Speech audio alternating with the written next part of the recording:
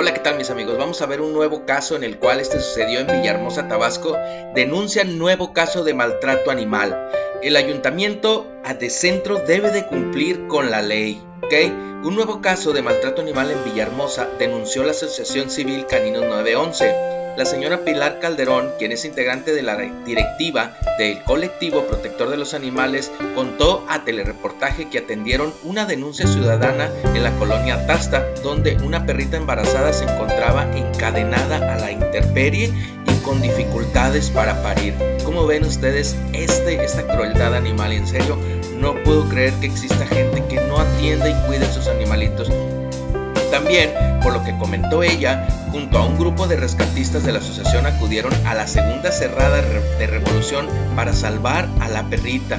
Una señora tenía una perrita en su casa y entonces los vecinos reportaron que la perrita estaba en el patio, la tenía arpada con una cadena que tiene hasta las marcas de la cadena en su cuello y la perrita estaba embarazada y lleva tres días que no podía sacar a los perros, los tenía atorados. Entonces esto la verdad es indignante. La activista detalló que los seis cachorros, tres nacieron con vida, sin embargo en el transcurso de las horas solo uno logró sobrevivir. Esto la verdad no es justo. No sé para qué tienen una mascota si no la van a cuidar. No sé para qué tienen un perrito amarrado en un patio abandonado. Eso no es correcto. No lo practiquen, no lo hagan. Asimismo, lamentó que Chuchita, como nombraron a la perrita, haya muerto ayer sábado ante las deplorables condiciones de salud en las que se encontraba, pese al tratamiento médico a la que se le sometió. No es justo, la verdad, no es justo. En ese sentido, la señora Pilar Calderón expresó su enojo explicando la responsabilidad penal a la que se debería de someter a la dueña del perrito. Se habló con la señora y nos dijo que no creía que fuera un caso, como no es un caso, como no es un caso de maltrato animal. La ley de protección de los animales y el Código Penal lo establece perfectamente. Esto es un caso de denunciar de que pague con cárcel o una multa, pero mínimo que pague los gastos. Por eso, pero eso es lo de menos, lo que lo hace un acto infame, expresó.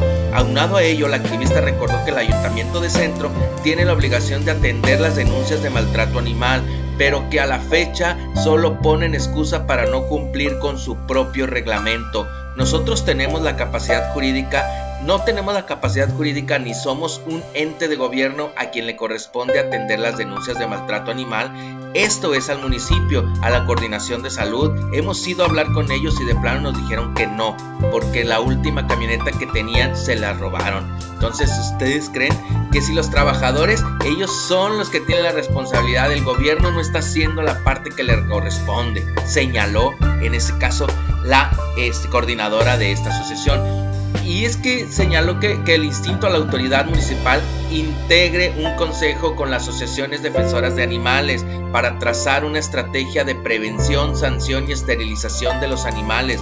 En el propio reglamento dice que se tiene que establecer un consejo de bienestar animal donde estén las áreas que estén involucradas en el tema e inclusive dos asociaciones protectoras de animales, nosotros queremos que ese consejo se forme para estar ahí y a través de ahí impulsar políticas y acciones concretas de vinculación entre policías, coordinación de delegados, la coordinación de salud, etcétera, para que se trabaje de manera coordinada, pero la realidad es que nos lo negaron entonces, autoridades, ayúdenos por favor, ayuden a que este tipo de situaciones no se vuelva a presentar y si se presentan, que la gente sepa que hay un castigo que tienen que cumplir. En ese sentido, Pilar Calderón reveló que la única ayuda que les ofreció el ayuntamiento fue económico porque no lo aceptaron, porque no, porque lo que buscaban es un propio municipio cuente con áreas específicas de atención a esa problemática.